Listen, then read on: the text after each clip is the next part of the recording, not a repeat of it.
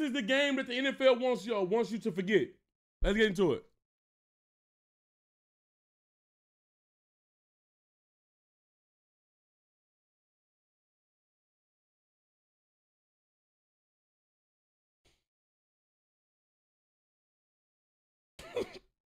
oh no, that ain't funny.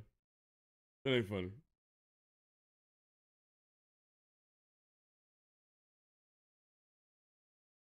Oh, y'all can't hear? Thank God. Thank God y'all, y'all can hear what I laughed at. Sorry about that. Y'all can't hear what I laughed at. Good, good, good, good. But the fans have got to control themselves. People are getting hurt. December 16th, 2001 marks a day that the NFL wants you to forget. Muted, buddy, you're it on was your a complete phone. You're and delayed. utter catastrophe. A day where NFL officiating was a total disaster and showed how scary and disgraceful an angry mass of sports fans can be. But first, let me take you back a few years to really put this into context.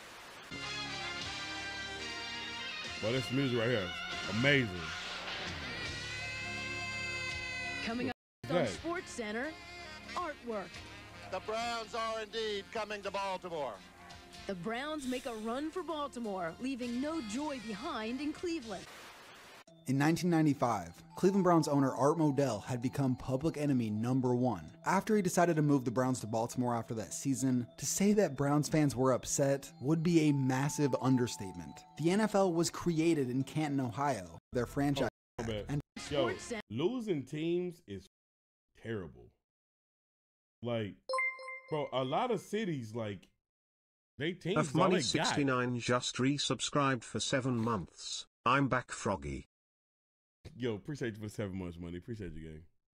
Ohio, which is now home to the Pro Football Hall of Fame. That's only an hour away from Cleveland. Taking away the Browns would be like if the MLB allowed the Yankees to be relocated.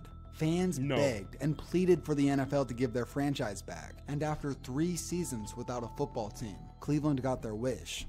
Only one season after they got them back, their former team had already won a Super Bowl. Yo. After their first two seasons, It hurts. Cleveland, Cleveland hurt because y'all ain't ain't, ain't have a ain't have a winning season, a winning Super Bowl team in so long. Um, when all actuality, your real franchise is winning bowls. My brother power bombed me through a glass table and we all got our ass beat. As as y'all should, badass kids, as y'all should. That's crazy. seasons ended in disappointing fashion, they had finally gained some momentum in 2001. Hey, Throughout Taz, the first 12 fact. games, the game. the Browns had fought to a respectable 6 and 6 record. Matched up at home versus the Jacksonville Jaguars, this was a must-win if the Browns wanted a shot at the playoffs.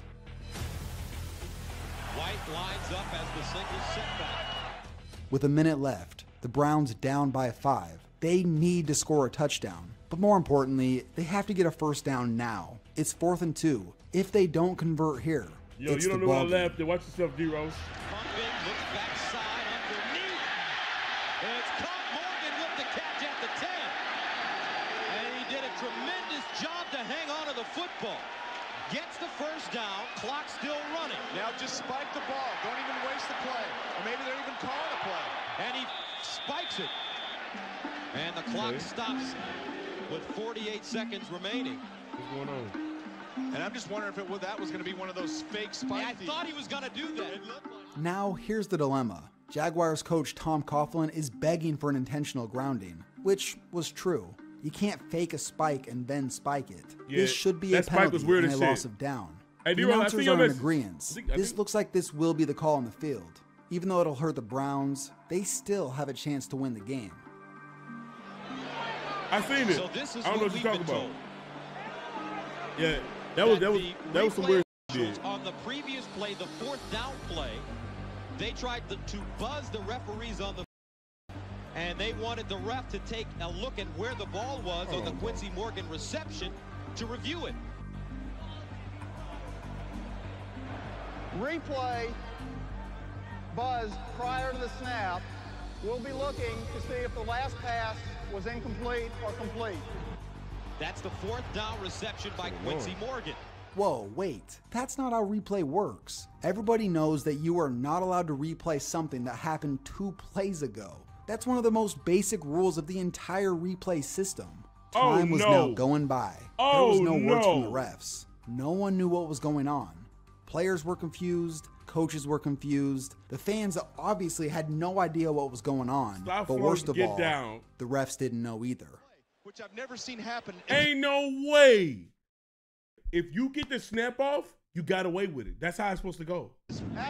After review, the pass is incomplete. First, first down, Jacksonville. Nah, f- out of here. Nah, So they say he was Outta in the ball. out And what here. Butch Davis is saying right now is we ran another play. And like I said, in the history of replay, Gus, Check Discord DMs I sent been vids for you to react to. seen them go Don't forget the candy tier list and replay you another Rufus play. Tray so really. This left I got you, everyone Wolf. on the Browns sideline pissed. But You want me to play there that was a much game? I don't know if we're bigger gonna get to all problem that. that had begun taking place. Following the game, one of the side referees came out and said, quote, It was scary to the extent that we didn't know if we were going to get hit by bottles or if the fans were going to charge the field. Eric Westmoreland, a member of the Jaguars team, was quoted saying, They are throwing bottles from behind our bench, so we migrated towards the 50 yard line. With the mob mentality, this crowd of angry fans was capable of anything. One thing was for sure those refs weren't getting off this field very easy. With no signs of this crowd slowing down, and the players, coaches, and refs just trying to stay as far away as possible, with time still left on the clock, out of desperation, this is what happened. And now they're going to call That the is the end of the game. Unbelievable. Now they call the game. Well, that was with the right 48 call. seconds to go. yeah, you got to take. I think precaution. that I think That's this has been That's just a fiasco by the referees today. The I'm not gonna lie. I understand why they canceled the game because it's no longer safe. It's not a safe environment. The fans are throwing shit. There's nothing to stop them from throwing it. But the fact that Wrestling they throwing this story. shit- I was wrestling my cousin back in the third grade on some lil nigga shit. Mhm. We were going back and forth whole time till he tried to RKO me. I wasn't going for that so I got low and Batista bombed his ass. I didn't know it was into bricks. How do you Batista bomb from an RKO? How you even do that? What kind of shit you got going? And y'all slamming niggas in the bricks? Y'all should never wrestle.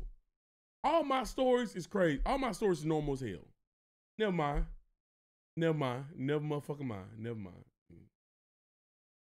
But uh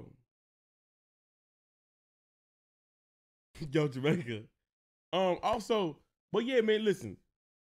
Dog, you can't fucking replay no play that already happened.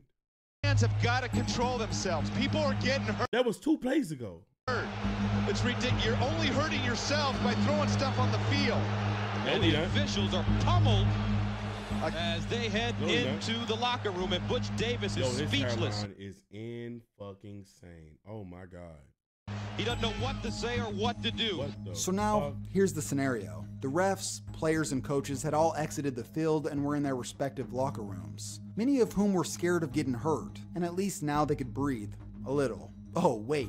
The league office just called. They're making the teams and the referees What go the back on the field and finish the game. Why would It they do that? 20 minutes, and now they're being forced to go back out there and have the Jags take a knee to officially end it. A member of the Browns years later said, quote, Guys were undressed. Butch had already talked to the team. The Jaguars player from earlier was also quoted saying, This was a big uproar because the coaches were like, Hey, Well, they really do not care about the safety of the players, and it's fucking insane. Dog, that is a unsafe environment for your employees. And you're going to send them back out there. they're Then to be out there, you need refs.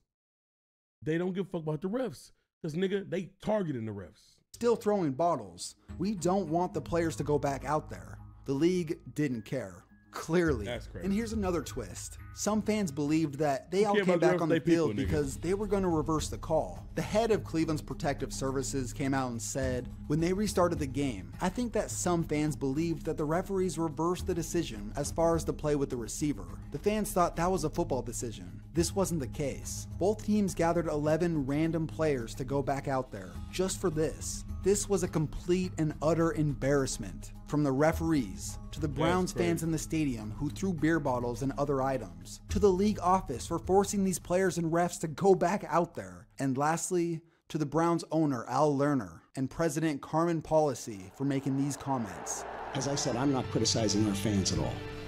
Why not?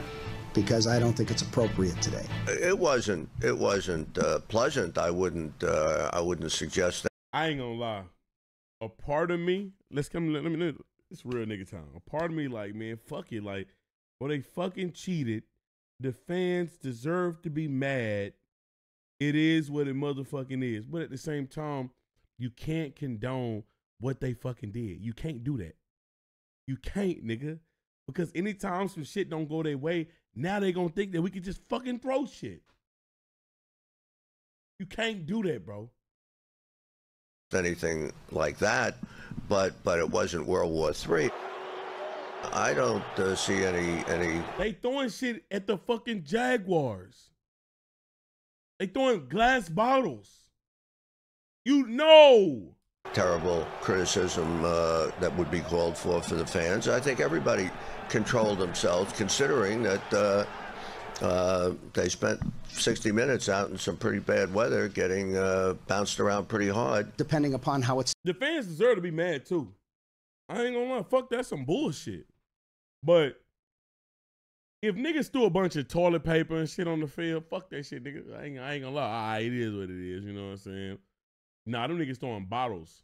In the beginning of the clip, they said a nigga got hit in the head and it bust his head open, bro. Nah, bro. It's depicted. Uh, people will understand. No one got hurt. No one got hurt. Something very weird. Hit him in his uh, head? people Uh, people will understand. No one got hurt. I think that nigga bleeding. something very weird happened. So, fine, we didn't have the most stable people in the world sitting in the stands, and uh, people reacted. Nah, that's nutty. That's nuts.